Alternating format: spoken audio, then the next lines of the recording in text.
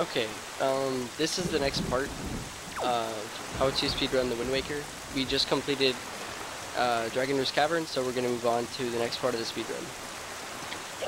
So now what we're going to do is we're going to get storage, and we're going to super swim to...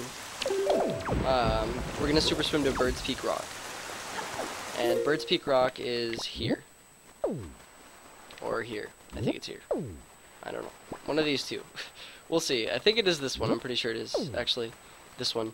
So, um, what, but what we're going to do now, I just forgot. Before we get storage, we're going to change the wind south.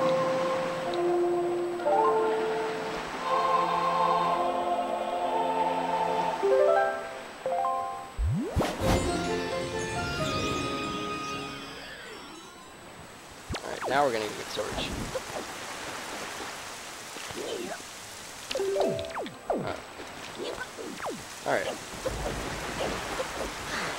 To KoRL. And then we're gonna act, uh, activate its text and then just uh, immediately just close it. We don't need it. Alright. So now we're gonna go and we're gonna pull out the Wind Waker.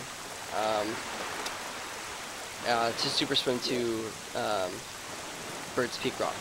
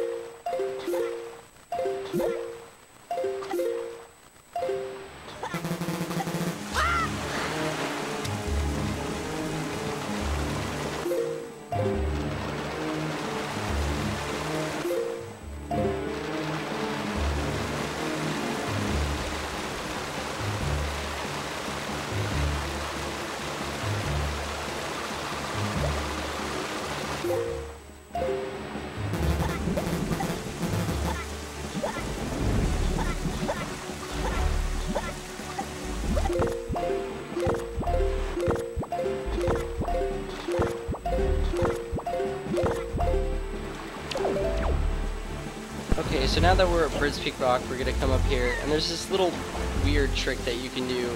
It's called the bait bag skip. Um, so, um, it doesn't really require, like, perfect timing, but it's kind of dumb.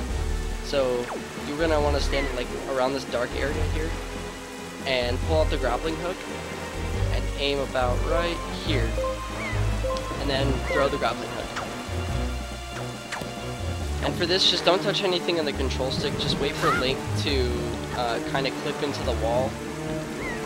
Uh, and then you can release, uh, like, with A. It doesn't really require anything else. Just, like, go with A when he's, like, halfway through the wall. If I could do it. Okay. One more time. Hopefully it'll work. Alright, so, yeah.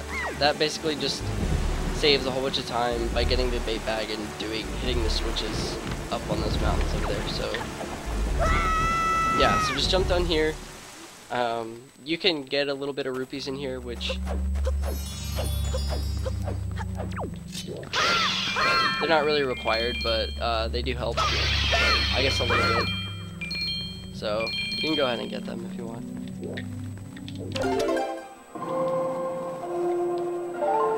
And for this, you're going to want to just play the Wind's Requiem. This is the first Triforce chart that you can get, or that you do get in the run. So we're going to go ahead and get that now. And don't roll past it. Okay, but yeah, now that we've got it, we're going we're going to save warp from here.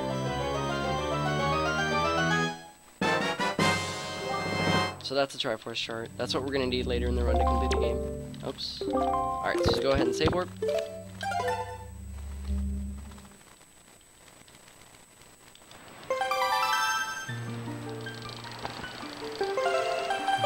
There's kind of a weird um, slash dumb storage here, so I'm gonna try to walk through walk you through it as best as possible. Um, okay, there's this tree here. Um, there's three trees right here, but how you can get storage on this island, it's like on, the only storage you can get on this island. Um, I'm pretty sure it's the only storage you can get on this island. Without, oh wait, well we, I mean we have bombs, so I could try something. Okay, one second, let me try this.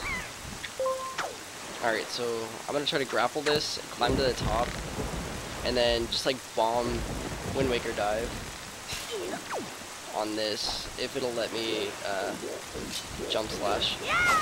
Oh, I might be able to do this. If I don't fall. That kind of might not be worth it, but Yeah, I'm just going to teach you this way. Alright. So basically line yourself up with this white line here, uh, like the left side of Link's body with the white line on the wall.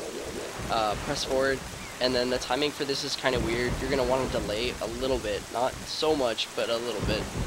So uh, go ahead and climb up, and you have to hold forward and then press the Wind Waker button, so that way Link falls.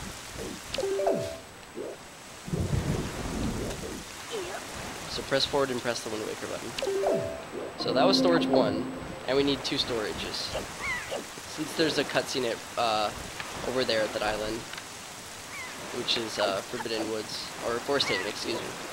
So talk to KoRL. We need his text. Alright.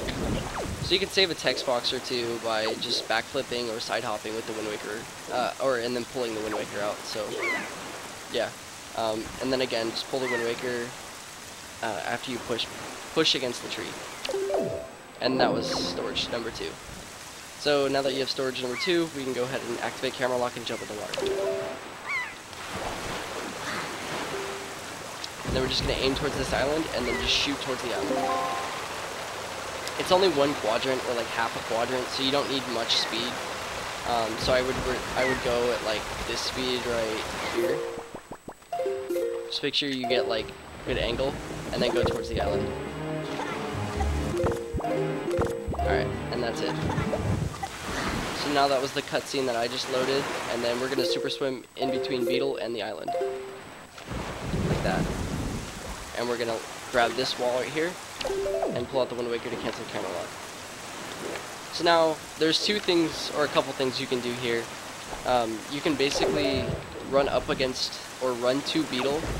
Uh, there's the back of the boat that you can grab on, and then Wind Waker dive off of.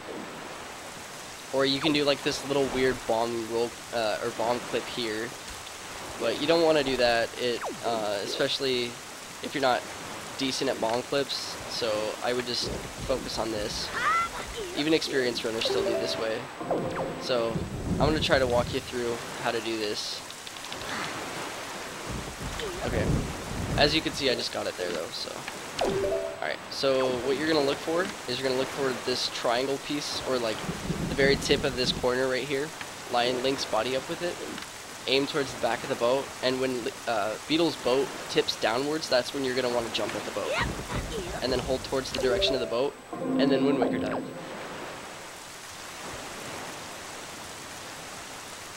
Once you do that, um, wait for the first beep on the uh, the Wind Waker notes, and then cancel the Wind Waker, and then swim towards this loading zone here.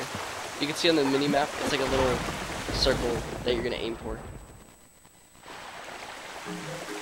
And this is uh, this is now Forest Haven, so I'm gonna go ahead and stop off here, guys. Um, I'm gonna I do appreciate you guys watching though, so I'm gonna stop here and then continue uh, at the next part when, uh, or I guess till the next time. So yes, again, thank you for watching.